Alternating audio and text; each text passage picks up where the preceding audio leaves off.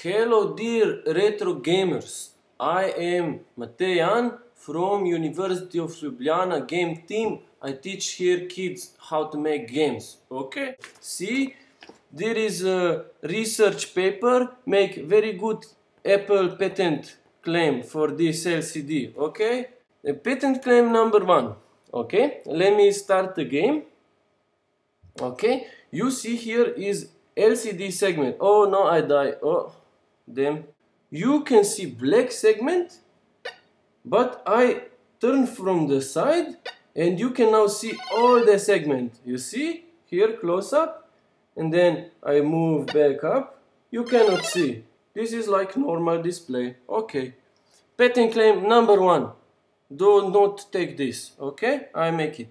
Patent claim number two. See okay I move around here very fast now and you see here behind the robot is there is echo because the because uh, the response time is almost 200 milliseconds.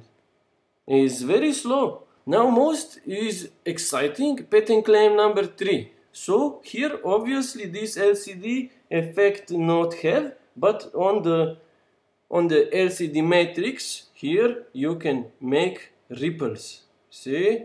Okay ripples ripples ripples. Very like ripples.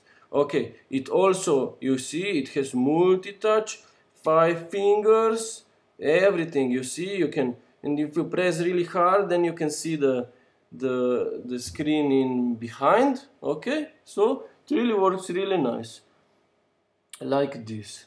So I hope you like my LCD crazy effect. But this patent claim, I make this first, not you. So just so we know. And I hope you indie games like it. And uh, maybe, you know, one day we meet and we can chat about very old school retro technology. Thank you very much.